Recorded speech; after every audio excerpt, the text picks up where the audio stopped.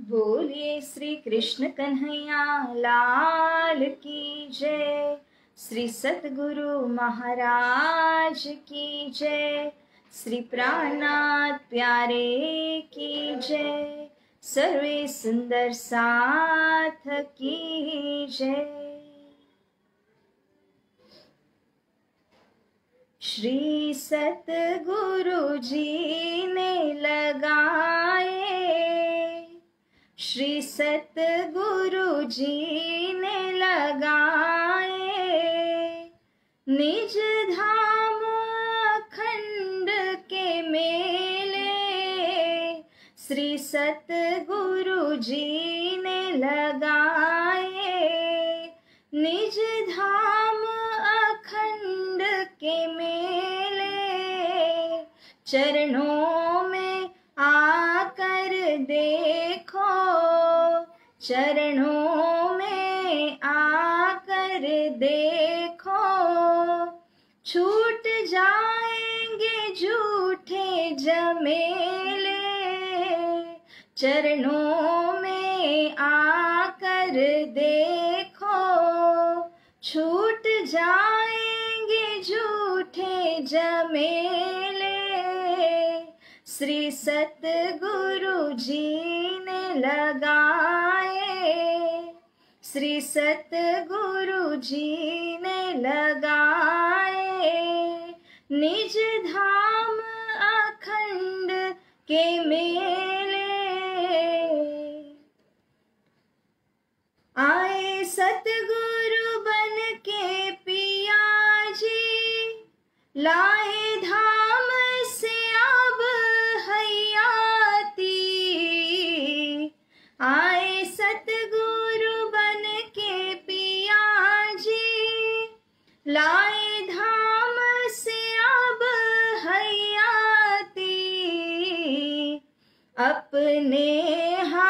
दे रहे हैं, अपने हाथों दे रहे हैं।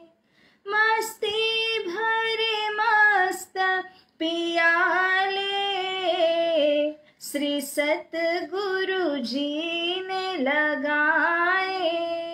श्री सतगुरु जी ने लगाए। निज धाम अखंड के मेले चरणों में आकर देखो। चरणों में आकर देखो। छूट जाएँगे झूठे जमेले। श्री सतगुरु जी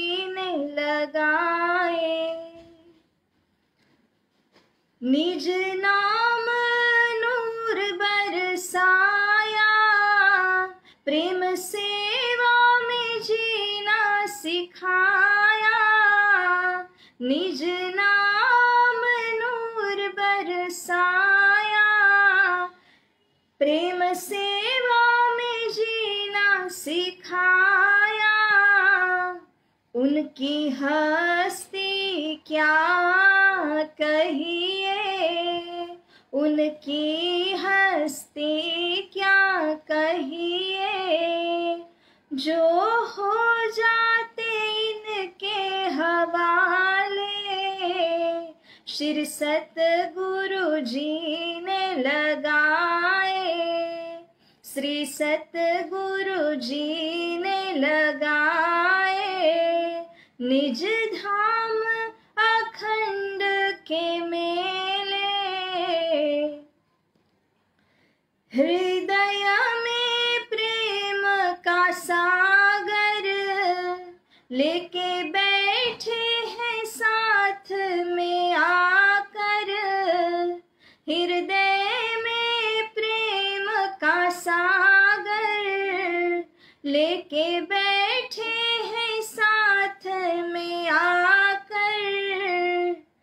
सतगुरु जिनको अपना ले वो सतगुरु जिनको अपना ले वे तो होते हैं सबसे निराले।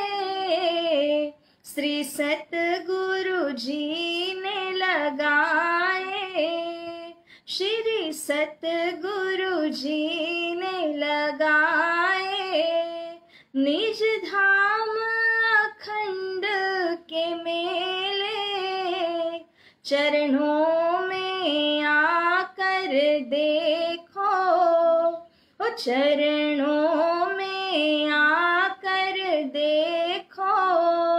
छूट जाएँगे झूठे जमेले श्री सतगुरु जी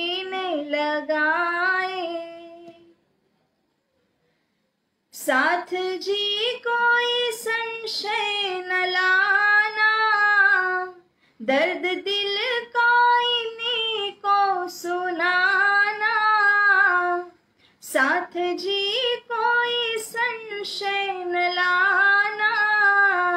दर्द दिल का को सुनाना। तन जानन हारे, हो तन मन की जानन हारे। रखते हैं सभी को संभाले, श्री सतगुरु जी ने लगाए। ओ श्री सतगुरु जी ने लगाए। निज धाम अखंड के मेले चरणों में आकर देखो चरणों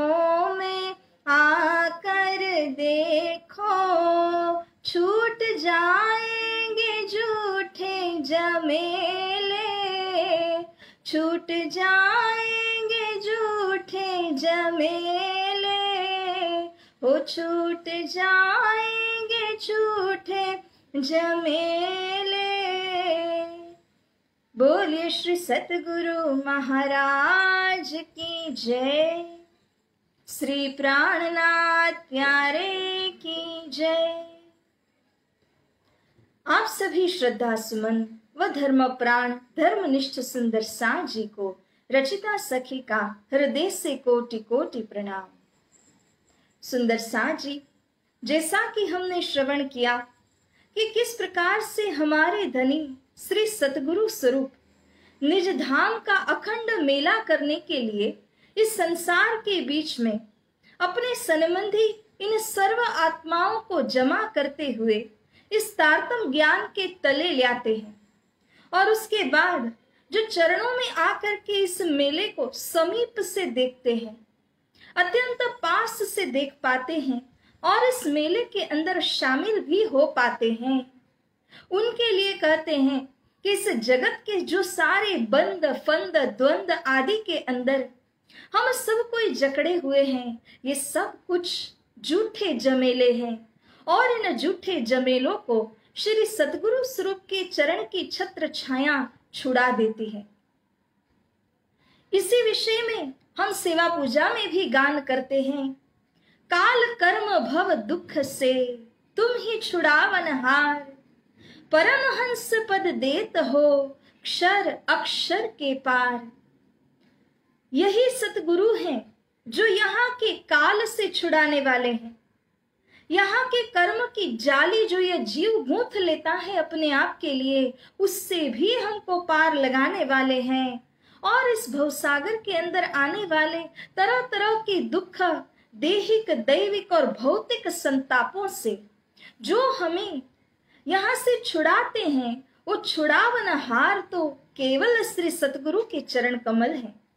इसीलिए श्री प्राणनाथ जी इस वाणी प्रकरण के चलते कहते हैं कि, हे जीव जी तुम इन सतगुरु के श्री चरणों में आ जाओ, उनके सानिध्य को प्राप्त करो और सदैव इनके साथ में जुड़े रहो। तो ही इस भव सागर से तुम छूट पाओगे, ये झूठे जमेले तुमसे छूट जाएँगे।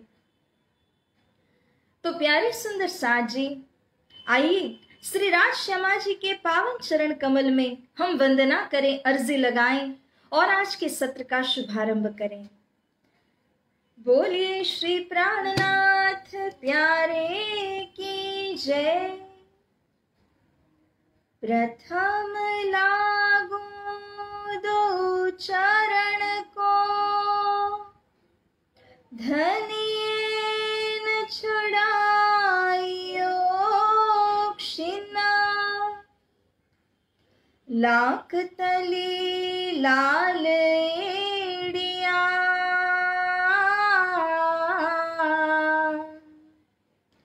मेरे जीव के एही जीवना। मेरे जीव के एही जीवना। इन पाँव तले पड़ी रहूँ, धनी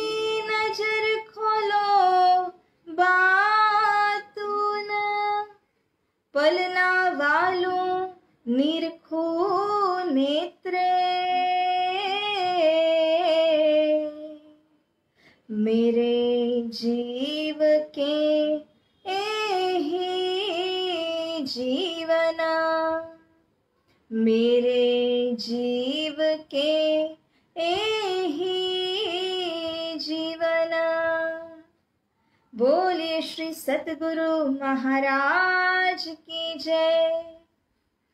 परम श्रद्धेय, परम वंदनीय, परम आदरणीय गुरुदेव, श्री दीनदयाल जी महाराज के पावन चरण कमल में अखंड दंडवत प्रेम प्रणाम के साथ सभी सुंदर साथ जी को कोटि कोटि प्रणाम करते हुए आइए सुंदर साथ जी, आज की इस मजल का शुभारंभ करते हैं। रे जीवनी के जानिए ए भूलवणी इत भूले सब कोए। या रंग रसे जो भूल ही, तिन करड़ी कसौटी होए। तिन करड़ी कसौटी होए।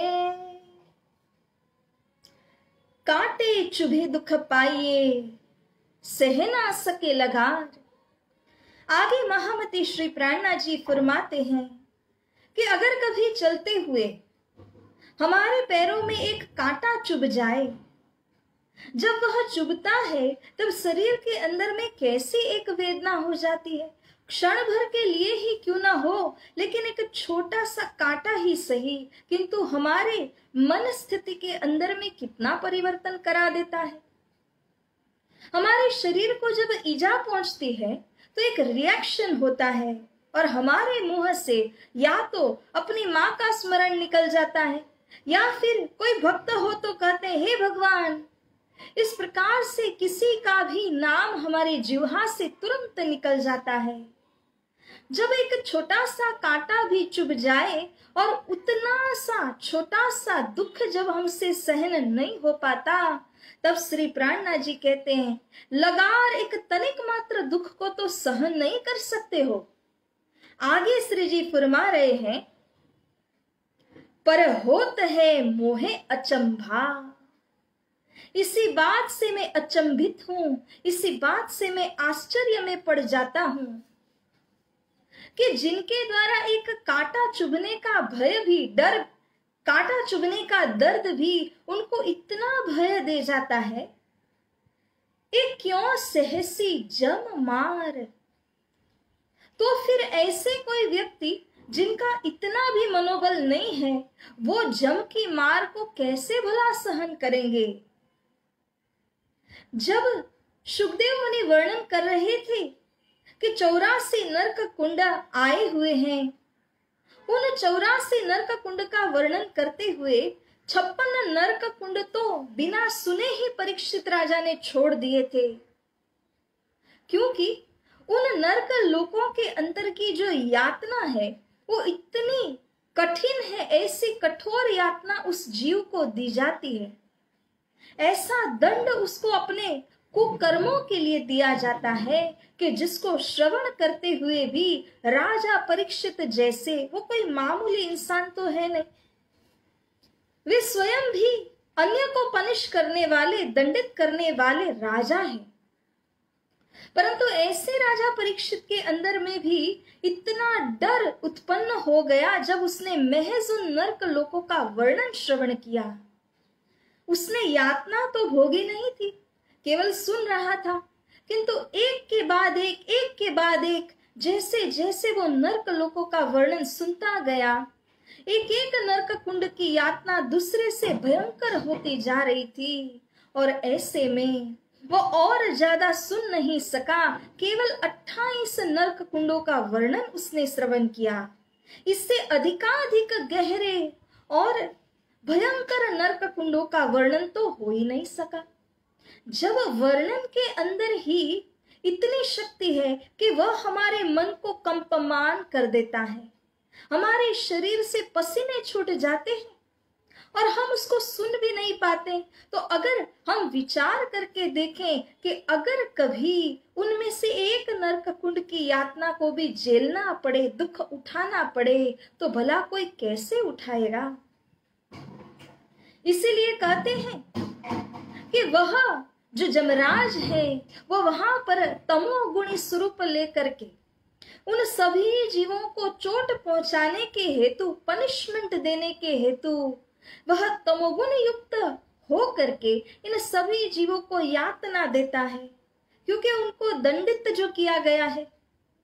इसीलिए उन जीवों के पास जब वे नरक के अंदर में पड़ जाते हैं तो यहाँ के जैसे पाँच तत्वों का देह नहीं होता। सत्रह तत्वों से बना हुआ इलास्टिक के प्रकार का देह होता है। कि जिस देह के अंदर चाहे कितना भी मार मारा जाए, परंतु वह देह और जीव तब तक छूटेंगे नहीं, अलग नहीं होंगे जब तक उसका दंड पूरा नहीं हो जाता। जब वह जमराज अपने सत्ताईस टन के मुगदल से वार करता है, जीव के सिर के ऊपर प्रहार करता है, उस समय जैसे टमाटर होता है और उसके ऊपर एक ज़ोर का पंच मारा जाए तो वह छिन्न भिन्न हो जाता है। ठीक इसी प्रकार से उस जीव और शरीर को छिन्न भिन्न हो जाना पड़ता है।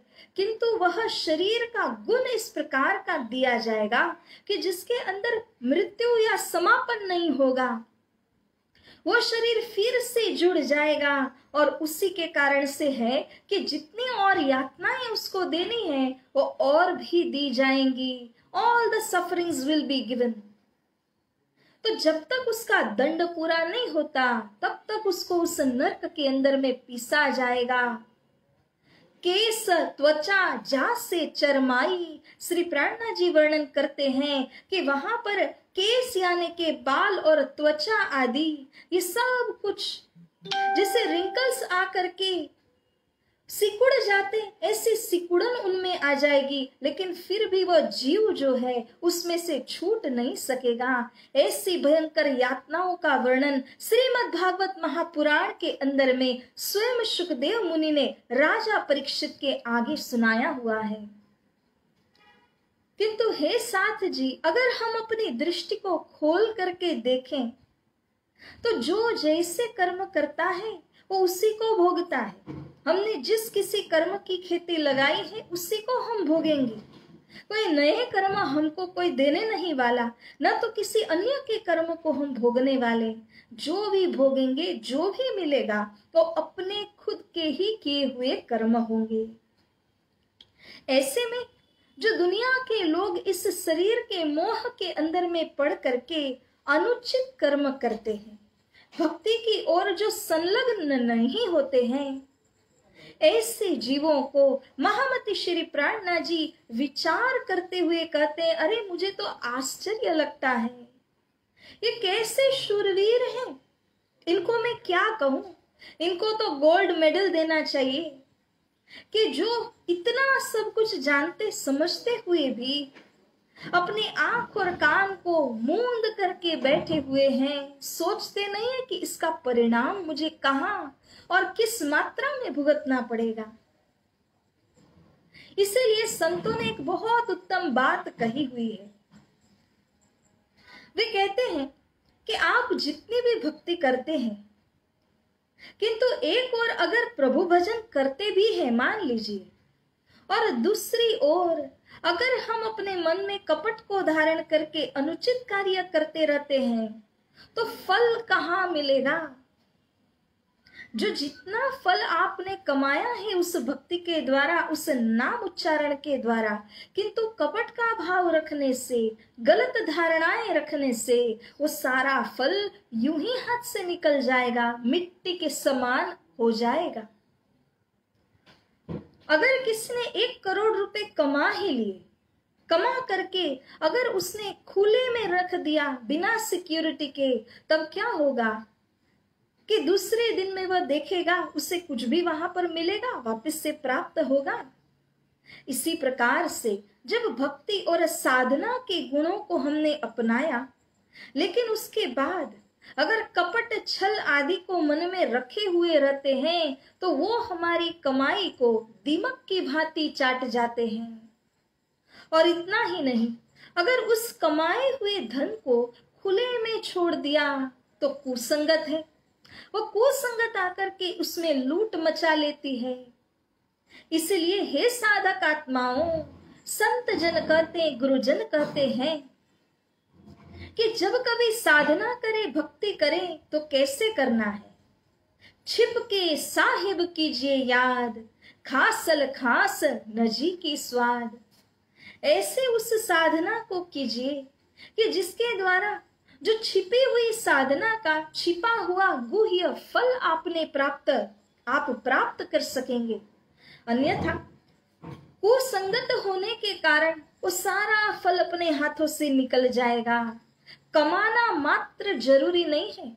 कमाए हुए धन की संरक्षण कैसे करनी है, वो भी उतना ही ज़रूरी है।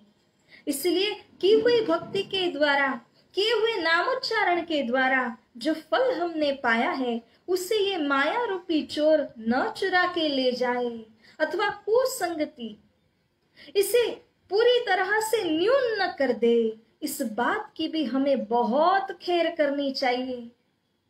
हे सुंदर साथ जी श्री प्राणना जी इसीलिए कह रहे हैं कि जब एक छोटा सा दुख तो यहाँ सहन नहीं किया जाता तो अचंभा लगता है कि ऐसे कर्म क्यों करते होंगे, जिन कर्मों का ये फल है।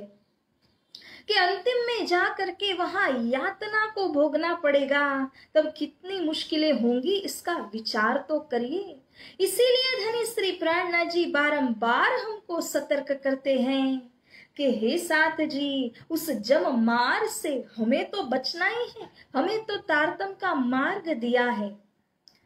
परंतु ये उन साधकों के लिए कहा जा रहा है, जो कि अध्यात्म के अंदर पग रखना ही नहीं चाहते हैं, जो भक्ति मार्ग के अंदर उसकी विशेषता को बिना जाने ही उस भक्ति से दूर दूर दूर रहना चाहते हैं। तो समझिए कि जो भी करोगे, उसका फल कहाँ और कैसे आपको मिलने वाला है? इन गफलत के घर में पड़ेगी बड़ी अगिन। ये घर तो घर ही है। However it is a temporary abode ये कोई परमानेंट घर नहीं दिया गया है। इस शरीर रूपी जो घर कहा हुआ है, ये कैसा है? गफलत का घर है। अगर यहाँ पर हमने माइंडफुलनेस को प्रैक्टिस नहीं किया, अगर मन लगाकर सचेत होकर के नहीं जिए, तब इसी घर के अंदर ऐसी अग्नि का सामना करेंगे कि यहाँ शरीर में रहते हुए भी अग्नि का सामना करोगे और यही अग्नि और बड़ी अग्नि में ले जा करके छोड़ेगी। इसीलिए श्री प्रेरणा जी बारंबार सतर्क कर रहे हैं कि साथ जी ये गफलत का घर है। बी कॉशियस बी अलर्ट मेरी ये ज़िम्मेदारी है कि मैं आप सभी को यहाँ सचेत करूँ। और सचेत करते हुए सर्वप्रथम श्री प्राणनाथ जी उस जीव को संबोधित करते हैं। किंतु हम भी इस तारतम ज्ञान को ग्रहण करके, विवेक बुद्धि के आश्रय से हम भी अपने उस जीव को समझा रहे हैं कि हे जीव जी ये घर में तो तुम इस समय में हो, लेकिन ये गफलत का घर है। अगर आपने यहाँ पर भूलन का आश्रय लिया तो आप अवश्य अग्नि के अंदर में पड़ जाएँगे, और यह अग्नि कही जाए तो काम, क्रोध, लोभ, मोह की अग्नि है।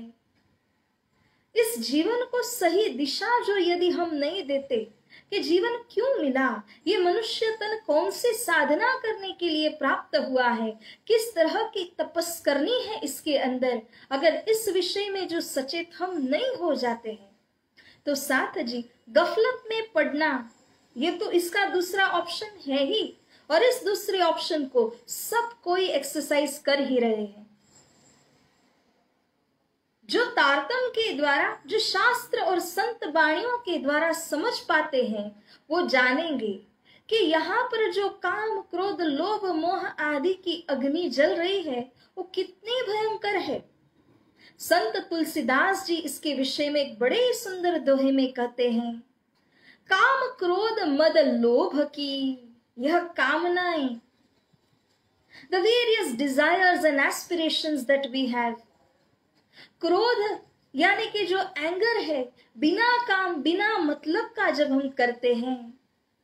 इसी प्रकार से मद, जिसकी चर्चा हमने पहले की कि कईयों प्रकार के मद हैं, कईयों प्रकार के नशे हम पे चढ़ जाते हैं, सवार हो जाते हैं।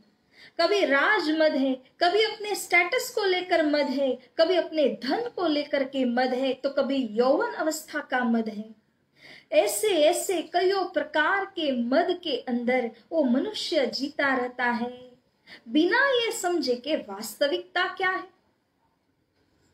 पुनः कहते हैं लोभ की, जो लोभ का, ग्रीड का जो गुण है, देखो अपने लिए जब हम कमा रहे हैं, वो उचित है और वो करना भी चाहिए। लेकिन अगर यही लोभ में परिवर्तित हो जाए, केवल संग्रह करके अक्यूमुलेशन की बुद्धि में आ जाए तो वह गलत होगा। संग्रह कीजिए अपने जीवन को जीने के लिए, अच्छी प्रकार से जीने के लिए, वो संग्रह करना भी उचित ही है। किंतु ऐसा संग्रह न कीजिए जैसे हम वो सेठ की कहानी में सुनते आए हैं कि मेरी इकतालीस पीढ़ी को तो मैं खाना पहुँचा सकता हूँ, लेकिन बयालीसवीं पीढ़ी क्या खाएगी वो मुझे नहीं पता। इतना अक्यूमुलेट करके आपने क्या हासिल किया? तो इस प्रकार से धनी कहते हैं, यहाँ संत तुलसीदास जी अपने दोहे में कह रहे हैं कि काम क्रोध मद लोभ की एक से एक बड़े विकराल मगरमच्छ की भांति है ये, जो उस जीव को निगलते जा रहे हैं। जो लो मन में खान, जब तक काम, क्रोध, लोभ, मोह, मद आदि की खान आपके मन के अंदर में पड़ी हुई है, खुली हुई है। खान यानी हम जैसे माइंस कहते हैं, गोल्ड माइन है। तो जिसके अंदर प्रशस्त मात्रा के अंदर वह स्वर्ण प्राप्त होता है, वैसे ही काम, क्रोध, लोभ, मोह, मद आदि की जब तक खान हमारे मन के अंदर में है तो लो पंडित मूर्खो, तुलसी एक समान। जब तक ये खान हमारे अंदर होगी, तब तक तुलसीदास जी कहते हैं कि हमारे मन की स्थिति, चाहे हम मूर्ख ही क्यों न कहलाते हो, या फिर कोई विद्वान, कोई पंडित ही क्यों न कहलाते हो, मन की स्थिति एक समान है। इट इज़ अनमाइंडफुल वो गफलत में पड़ा हुआ है। ऐसे मन को लेकर के वो जीव के ऊपर छाप पड़ जाती है, क्योंकि मन जो अनुभव करता है, वही जीव को पहुँच रहा है। मन जैसा देखता है, जैसा अनुभव करता है अच्छा हो या बुरा हो, वो सब जीव के ऊपर रब ऑफ़ हो जाता है, और तब जाकर के वह जीव भी इसी प्रकार अच्छा बुरा देखता है। तो सोचिए कि इस मनरूपी यंत्र के द्वारा इस जीव को कितना असर है, कितना प्रभाव हो रहा है, और अगर ये मन गफलत में पड़ा हुआ है तो जीव भी गफलत में पड़ा है। ये जीव जब जब तक गफलत के घर के अंदर में रहेगा, पड़ेगी बड़ी अगिन, तब तक वो इन्हीं अग्नियों के बीच में बैठा हुआ है, जल रहा है, रात दिन तप रहा है। किंतु कभी कभी हम जब सुख की प्राप्ति करते हैं ना तो हमको लगता है कि मुझे संतोष मिल रहा है। इसीलिए एक इच्छा पूरी होते ना होते, दूसरी इच्छा सामने आके खड़ी हो जाती है। उस इच्छा को जब तक पूर्ण करें ना करें, तब तक एक और इच्छा सामने आ जाती है। मल्टीपल इच्छाएँ इस प्रकार से उत्पन्न होती है, ये अगिन नहीं है तो क्या है? सब कोई देखे जलती अपनी अपनी आग। हमारे भीतर भी वह अग्नि जल ही रही है, और सब कोई को वो नज़ारा दिख भी रहा है। किंतु, हे सुंदर साजी, जाहिरी दृष्टि से नहीं, अनुभव के द्वारा आप देखिए कि हर किसी के अंदर में वही काम क्रोध आदि की अग्नि जल रही है। श्री प्राणनाथ जी कहते हैं, हे जीव, अब सतर्क हो जा। गफलत में अगर जो तू पड़ा रहेगा तो अच्छी बात नहीं होगी। क्यों? पीछे जब यह शरीर रूपी घर तो छूट जाएगा, तब क्या होगा? लाख चौरासी देह में, जलसी रात और दिन। इससे अधिक मात्रा में, इससे ज़्यादा क्लैरिटी के साथ में और हमको धनी क्या समझाएँगे? क्या प्रबोध करेंगे? क्योंकि जब हम इस शरीर रूपी मकान के अंदर मानते नहीं और इसी काम क्रोध, लोभ, मोह के वश में होकर के सारे कर्म करते हैं, उसका फल भी भुगतेगा वह जीव। तो जब शरीर छूट गया तो चौरासी लाख देह के चक्कर में पड़ना पड़ेगा। माइंड इट ये चौरासी लाख स्पेशीज हैं। हर एक स्पेशीज के अंदर पुनः उसकी उपयोनिया भी बनी हुई है। जैसे कुत्ते की एक योनि कहेंगे तो उसमें कईयों प्रकार की ब्रीड्स होती है। ऐसे ही हर पशु हर जाति के साथ है। भावार्थ यह है कि मोटा मोटी देखने जाए तो चौरासी लाख योनियों का ज़िक्र किया गया है शास्त्रों पुराणों के अंदर में। किंतु उनके अंदर छिपे हुए जो अलग अलग प्रकार के सब टाइप्स हैं वो और अनंत है।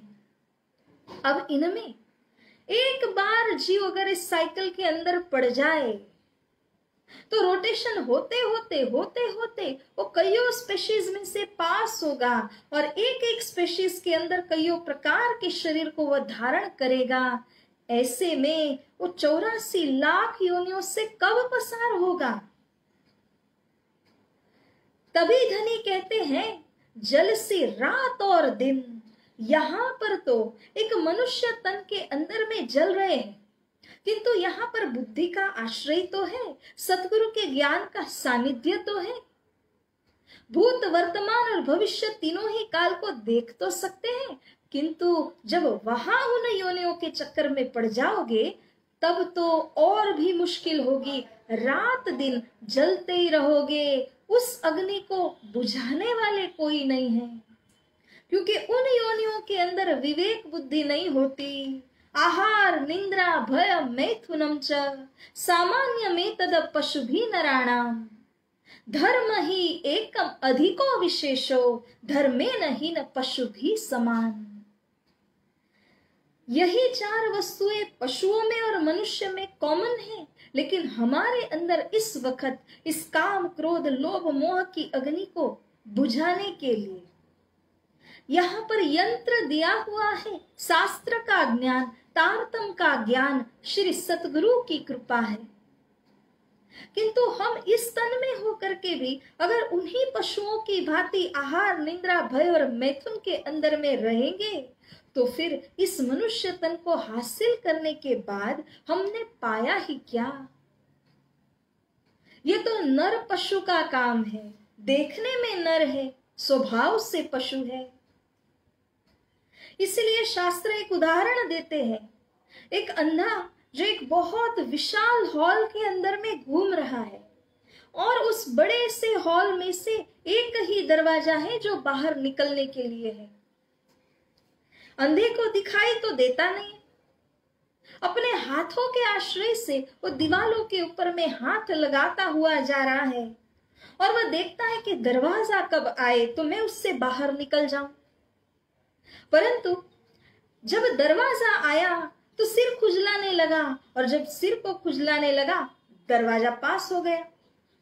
अब पुनः इतने बड़े हॉल का चक्र उसको लगाना ही पड़ेगा।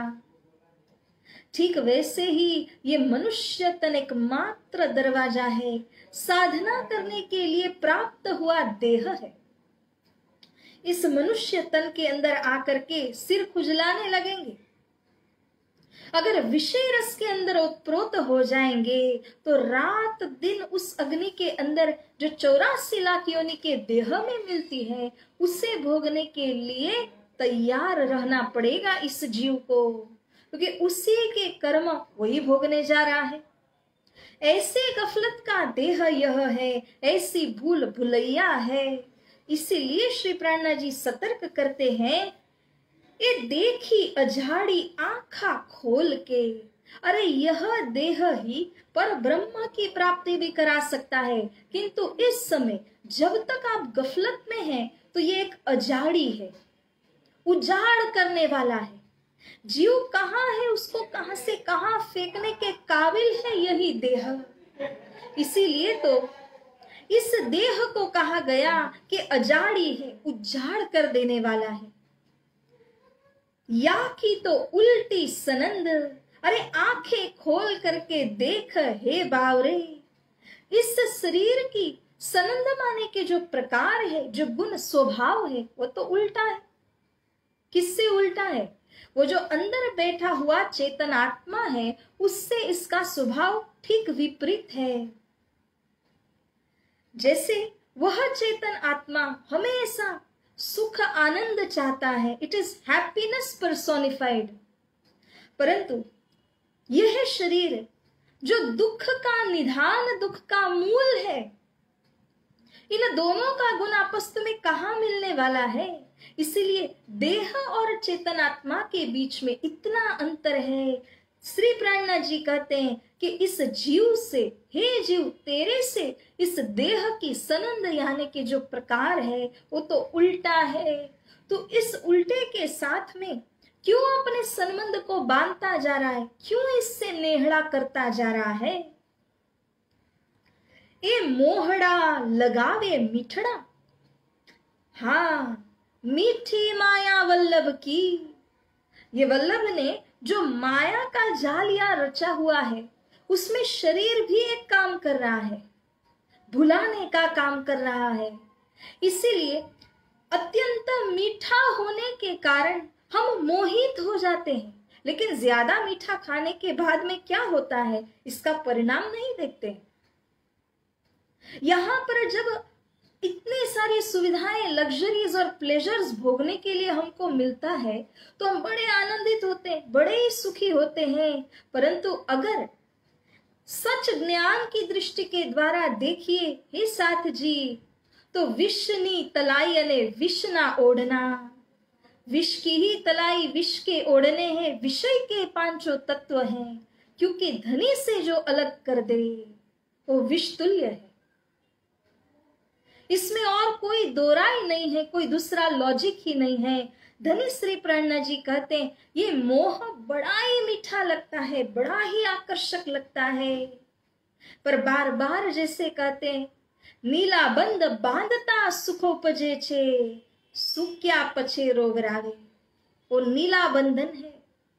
पहले बहुत सुकून देगा और फिर उतनी ही आग में डाल देगा। इसीलिए क्या करना? या हसत छोड़ो या रोए, जिन करो अंधेसा कोई श्री जी तो कहते ही हैं, हँसते हँसते इसको परित्याग कर दीजिए। अन्यथा शरीर छूटेगा, तब रोते रोते तो छोड़ना ही पड़ेगा। कहा ये सब साथ में ले जा पाओगे? समझ बूझ के द्वारा। हाउ डू वी रिनाउंस अगर हमारे अंदर वो समझ बूझ नहीं है, वो डिस्क्रिमिनेशन कैपेसिटी उजागर नहीं हुई है तो छोड़ ही नहीं पाएँगे। अगर कहते हैं कि मैंने छोड़ दिया तो वो रिनाउंसिएशन टेम्पररी होगा बॉडीली होगा। हमारे अंदर से रिनाउंस किया हुआ नहीं होगा।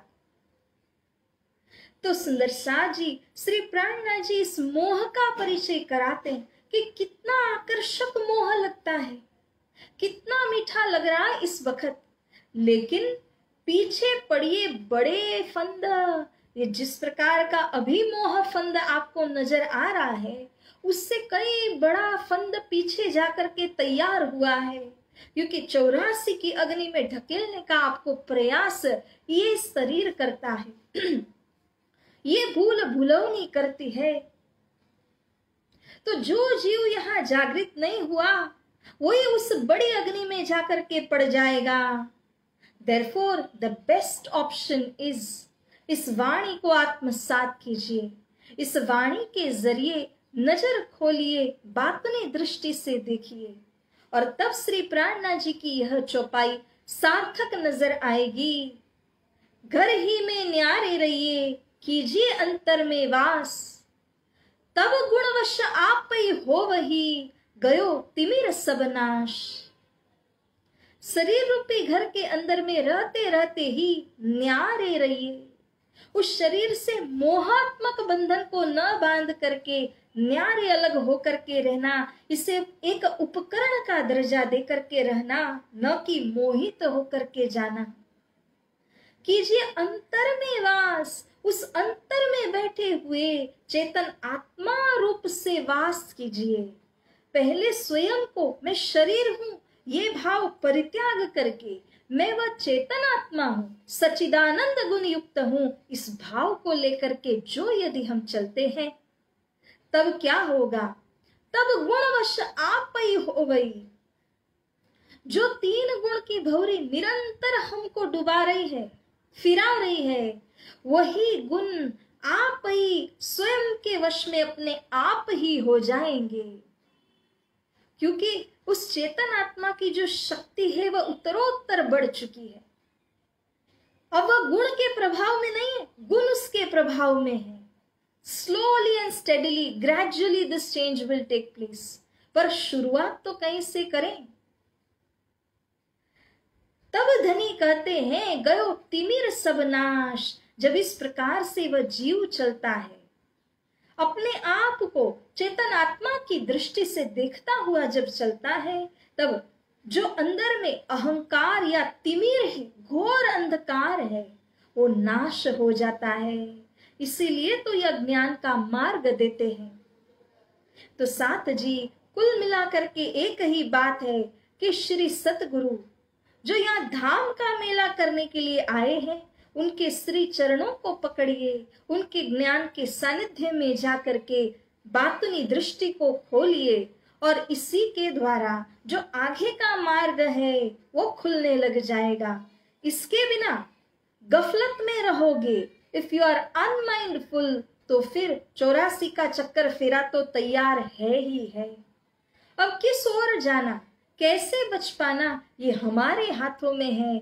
ऐसे अनमोल मनुष्य तन रूपी रत्न को अगर यू ही मिट्टी के कौड़े के भाव में गवा दिया हमने तो बड़ा ही अफसोस करने की बेला होगी। इसीलिए धनी बार बार सतर्क करते हैं और हम उनकी वाणी को हृदय से कोमल हृदय करते हुए आत्मसात करते हैं। तो आइए प्यारे सुंदर शाह जी आज की मजल को यहाँ पर विराम देते हुए इन्हीं वचनों को हम हृदयांगम करते हैं। ए देखिए जाड़ी आखा खोल के, या की तो उल्टी सनंध। ए मोहड़ा लगावे मीठड़ा, पीछे पड़िए बड़े फंद, पीछे पड़िए बड़े फंद। बोलिए श्री कृष्ण कन्हैया लाल की जय। श्री सतगुरु महाराज की जय। श्री प्राणनाथ प्यारे की जय। समस्त सुंदर साथ की जय। बोल बोल पंजे वाले की जय। प्रणाम सुंदर साथ जी।